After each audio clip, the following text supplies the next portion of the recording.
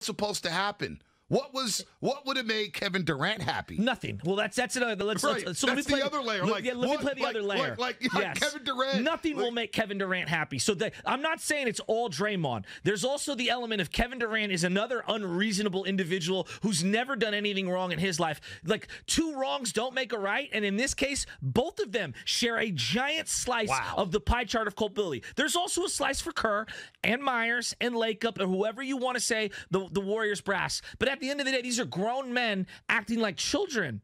Unbelievable. I can't believe what I'm hearing. Be the second time I heard it, it made me angrier. Right. no, Well- I'm being real. Well, here's the thing, Joe. He's delusional. This thing we just asked raw, right? And it's been lingering, lingering, lingering. They finally sit down and clear the air, and next thing you know, there's more guys to get thrown under the bus over this situation. Like the Warriors go out and they suspend Draymond Green, and I don't honestly, I don't blame them for suspending Draymond Green.